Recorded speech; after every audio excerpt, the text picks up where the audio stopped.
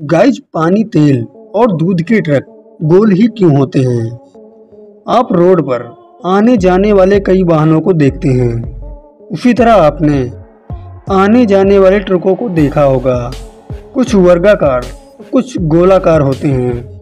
लेकिन आप जब तरल पदार्थ, अर्थात दूध पानी, पेट्रोल की गाड़ियों को देखते हैं तो आप एक पल के लिए सोच में पड़ जाते हैं।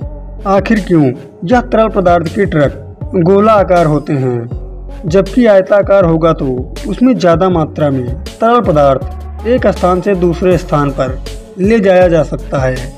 दरअसल पुराने समय में जब तरल पदार्थ को एक स्थान से दूसरे स्थान पर पहुँचाया जाता था तो वह लोग घोड़े की पीठ पर टैंक बांधकर पहुँचाया करते थे। सन 1905 में एक स्टैंडर्ड एंगल नाम की अमेरिकन कंपनी ने इस समस्या को देखते हुए टैंकर का निर्माण किया।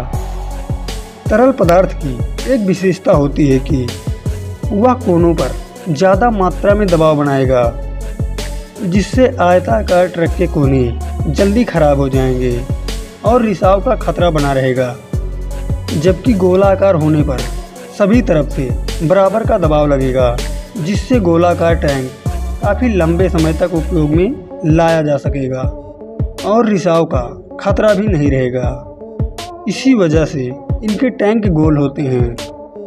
गाइस, अगर जानकारी अच्छी लगी हो तो वीडियो को लाइक और चैनल को सब्सक्राइब करना मत भूलना। मिलते हैं आपको अगली वीडियो में। तब तक के लिए जय हिंद।